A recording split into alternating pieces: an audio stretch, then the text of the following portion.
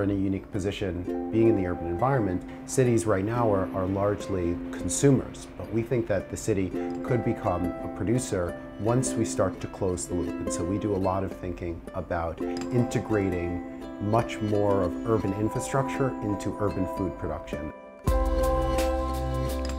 The goal for EdenWorks is to expand the loop of what we produce and how we produce it so that ultimately cities can change from these uh, exclusive consumers to holistic ecosystems that can renewably provide.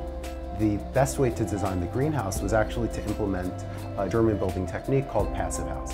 So passive house buildings are effectively airtight structures where you carefully control the gas exchange into and out of the building. That allowed us to create a greenhouse that we never have to heat during the winter or cool during the summer.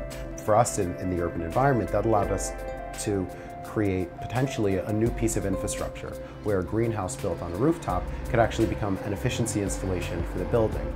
So we can pull air from the greenhouse that's already been filtered by the plants, it's been oxygenated by the plants, and we can pass that into the building. And for us, it's really all about expanding this closed loop and, and drawing more and more of the urban environment into our agroecological model.